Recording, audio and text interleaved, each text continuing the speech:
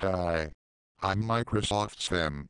And I want to tell you about something that parents and teachers can agree on. If you read to kids every day, they'll learn happily ever after. So be a designated reader and help a child get wild about reading.